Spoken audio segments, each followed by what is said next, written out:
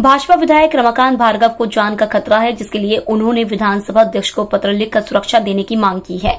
उन्होंने कांग्रेस का नाम लिए बिना ही आरोप लगाते हुए कहा कि कांग्रेस विधायकों द्वारा उनके साथ धक्का मुक्की और बदतमीजी की गई और उन्हें जान का खतरा भी है, इसलिए उन्हें सुरक्षा प्रदान की जाए। विधानसभा की कार्रवाई आज की देख ली जाए। जब इन्होंने प्रवेश किया था, वहाँ के सीसीटीवी कमरे देखे जाए, कैमरे देखे जाए, इनका कुर्ता कहाँ फटा?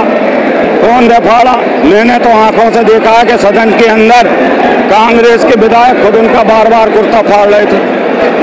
अन्य लोगों ने भी देखा होगा। मैंने तो अब सर से कफन बाँध लिया है। मुझे जान से मारने की धमकी दी जा रही है।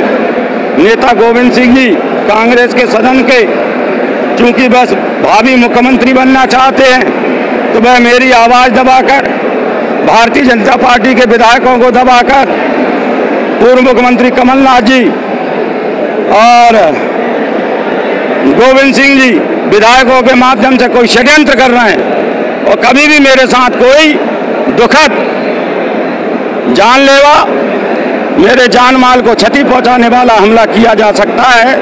मैं इसके लिए माननीय विधानसभा अध्यक्ष जी से, मुख्यमंत्री जी से गृह मंत्री जी से, सभी विधायकों से, सांसदों से हाथ जोड़ के निवेदन करता हूँ। मेरे खिलाफ षड्यंत्र हो रहा है। भारतीय जनता पार्टी के विधायकों के खिलाफ षड्यंत्र हो रहा है। हमें सुरक्षा दी जाए, संरक्षण दिया जाए और दोषी विधायकों पर कार्रवाई की जाए।